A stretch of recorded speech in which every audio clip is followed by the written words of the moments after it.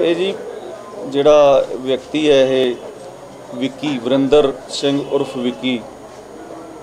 ਇਹ ਇਲੈਕਸ਼ਨ ਤੋਂ ਪਹਿਲਾਂ ਡਾਕਟਰ ਸਾਹਿਬ ਦੀ ਜਿਹੜੇ ਐਮਐਲਏ ਡਾਕਟਰ ਹਰਜੋਤ ਕਮਲ, ਉਹਨਾਂ ਦੀ ਕੰਪੇਨ ਦੇ ਵਿੱਚ ਉਹਨਾਂ ਦੇ ਨਾਲ ਆਉਂਦਾ ਜਾਂਦਾ ਸੀ ਤੇ ਉਹਨਾਂ ਦੇ ਦਫ਼ਤਰ ਖੁੱਲੇ ਹੋਏ ਸੀ ਇੱਥੇ ਗੀਤਾ ਭਵਨ ਦੇ ਨੇੜੇ ਤੇ ਬਗਾ ਕਲੋਨੀ 'ਚ। ਇਹ ਅਕਸਰ ਉੱਥੇ ਕੰਮਕਾਰ ਦੇਖਦਾ ਸੀਗਾ। ਤੇ ਡਾਕਟਰ ਸਾਹਿਬ, ਜਦੋਂ ਇਲੈਕਸ਼ਨ ਜਿੱਤਣ ਤੋਂ ਬਾਅਦ ਮੇਨ ਦਫ਼ਤਰ ਉਧਰ ਚਲਾ ਗਿਆ, ਇੱਕ ਨੰਬਰ ਡਿਵੀਜ਼ਨ ਦੇ ਵਿੱਚ, ਤੇ ਇਹਨੇ ਉਸ ਦਫ਼ਤਰ ਦੀ ਆੜ ਦੇ ਵਿੱਚ ਐਮਐਲਏ ਸਾਹਿਬ ਦਾ ਨਾਮ ਯੂਜ਼ ਕਰਕੇ ਤੇ ਐਮਐਲਏ ਸਾਹਿਬ ਦੇ ਮੇਨ ਦਫ਼ਤਰ ਦੇ ਜਿਹੜਾ ਇੱਥੇ ਉਹਨਾਂ ਦਾ ਇੰਚਾਰਜ ਸੀ ਧੀਰਜ ਕੁਮਾਰ ਧੀਰਾ, ਉਹਦਾ ਨਾਮ ਯੂਜ਼ ਕਰਕੇ ਤੇ ਸ਼ਹਿਰ ਦੇ ਵੱਖ-ਵੱਖ ਰਸੂਖਦਾਰ ਵਿਅਕਤੀਆਂ ਤੋਂ ਜਿਨ੍ਹਾਂ 'ਚ ਕੁਝ ਡਾਕਟਰ ਸਾਹਿਬਾਨ ਨੇ ਕੁਝ ਵੱਡੇ ਦ- ਦੁਕਾਨਦਾਰ ਨੇ ਉਹਨਾਂ ਤੋਂ ਫੋਨ ਕਰਕੇ ਵੀ ਡਾਕਟਰ ਸਾਹਿਬ ਨੇ ਮੰਗਾਏ ਆ ਜਾਂ ਦਫ਼ਤਰ ਚਾਹੀਦੇ ਆ ਡਾਕਟਰ ਸਾਹਿਬ ਗਏ ਹੋਏ ਨੇ ਇਸ ਤਰੀਕੇ ਨਾਲ ਪੈਸੇ ਮੰਗਾਏ। ਇਸ ਤੋਂ ਇਲਾਵਾ ਇਹਨੇ ਇੱਕ ਦੋ ਮਤਲਬ ਠੱਗੀ ਪੁਲਿਸ ਦੇ ਨਾਂ ਤੇ ਵੀ ਮਾਰੀ 30 35 ਹਜ਼ਾਰ ਦੀ। ਜਦੋਂ ਇਹਨੇ ਇਦਾਂ ਦੇ ਅ, ਕੰਮਕਾਰ ਕੀਤੇ ਤਾਂ ਇਹਦੇ ਚ ਸਾਨੂੰ ਕੰਪਲੇਂਟ ਆਈ ਵੀ ਕੋਈ ਵਿਅਕਤੀ ਇਸ ਤਰ੍ਹਾਂ ਦੀਆਂ ਠੱਗੀਆਂ ਮਾਰ ਰਿਹਾ ਡਾਕਟਰ ਸਾਹਿਬ ਦੇ ਨਾਂ ਤੇ, ਡਾਕਟਰ ਸਾਹਿਬ ਦੇ ਦਫ਼ਤਰ ਦੇ ਨਾਂ ਤੇ ਧੀਰਜ ਦਾ ਨਾਂ ਲੈ ਕੇ। ਤੇ ਉਹਦੇ ਤੇ ਅਸੀਂ ਇਨਕੁਆਇਰ ਕੀਤਾ ਵੀ ਕੌਣ ਵਿਅਕਤੀ ਤੇ ਕਿਸ ਤਰੀਕੇ ਨਾਲ ਇਹ ਕੰਮ ਕਰ ਰਿਹਾ।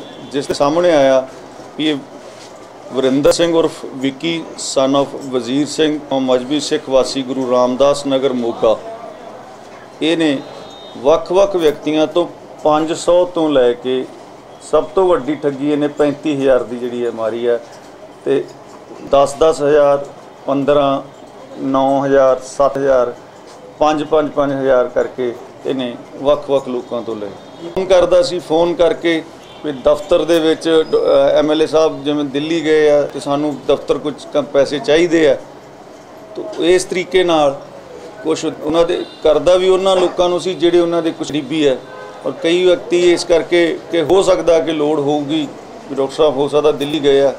ਔਰ ਕਈ ਵਾਰੀ ਉਹ ਕਿਤੇ ਆਸੇ-ਪਾਸੇ ਗਏ ਵੀ ਹੁੰਦੇ ਸੀ ਤੇ ਉਹਨਾਂ ਨੂੰ ਪਤਾ ਹੁੰਦਾ ਸੀ ਗਏ ਆ। ਇਸ ਕਰਕੇ ਉਹ ਦੇ ਦਿੰਦੇ ਸੀ। ਆਲਮੋਸਟ 22 23 ਜਣੇ ਆ ਜਿਹੜੇ ਹੁਣ ਤੱਕ ਪਿਕਚਰ 'ਚ ਆ ਗਏ ਆ ਜਿਨ੍ਹਾਂ ਤੋਂ ਇਹਨੇ ਠੱਗੀ ਮਾਰੀ। ਇਹਨੇ ਆਪਦੇ ਦੋ ਦੋਸਤ ਸੀਗੇ ਭੇਜੇ ਦੋ ਤਿੰਨ ਵਾਰੀ।